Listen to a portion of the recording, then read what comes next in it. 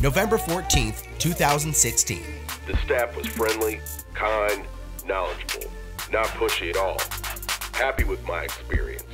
The showroom was clean and neat, and the truck I purchased was fair priced. Signed username Pipeline077.